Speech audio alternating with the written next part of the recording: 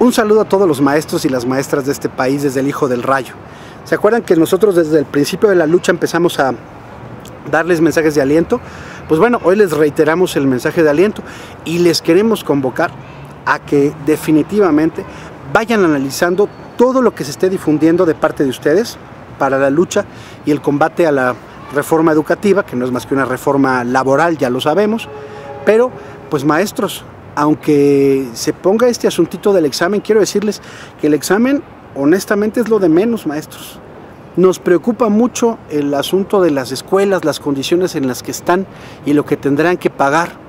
Entonces nos gustaría, por favor, les pido, que hablen con todos los papás, con los padres de familia, así como lo hicieron hace tiempo, que vuelvan a llamarlos a las escuelas, que les expliquen lo que está sucediendo, porque perder la educación pública en este país verdaderamente sería un acto muy penoso que nos lleva al atraso. Y maestros, se los digo de todo corazón, es que si no son ustedes, ¿en dónde vamos a depositar la esperanza? Díganos en dónde. No los tenemos más que a ustedes, no hay más. Porque si tú volteas a ver a la policía, si tú volteas a ver a los políticos, no maestros. Yo sé que en cada aula, en cada momento, ustedes están entregando parte de su ser. Entonces, la única esperanza que tenemos hoy en este país son ustedes maestros.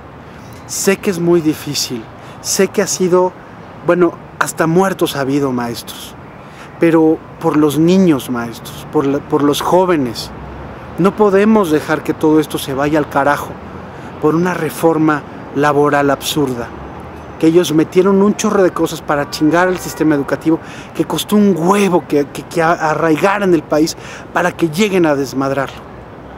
Entonces, con todo el corazón, maestros, refuercen todo el trabajo con los padres de familia, ilústrennos, manténganse en la batalla y pues no sean malos. Échenos la mano, porque si no es con ustedes, ¿de dónde?